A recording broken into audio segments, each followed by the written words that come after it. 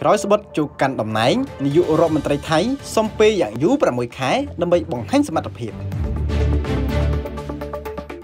Dragon Premium Dark Beer ស្រាបៀរទឹកខ្មៅរសជាតិស្រាលស្រទន់ផ្ដើមសបាយជាមួយរសជាតិនិងគុណភាព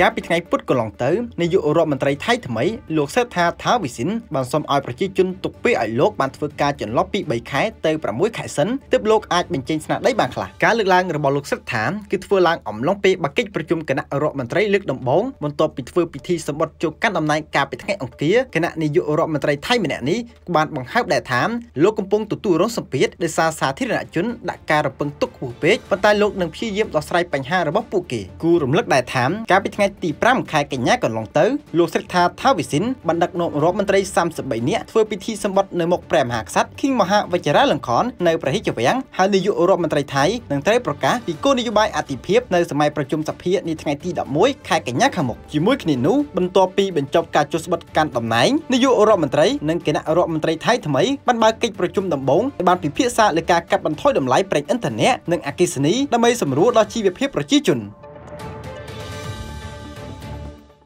Dragon Premium Dark Beer ស្រាបៀរទឹកខ្មៅរសជាតិស្រាលស្រទន់ផ្ដើមសបាយជាមួយរសជាតិនិងគុណភាព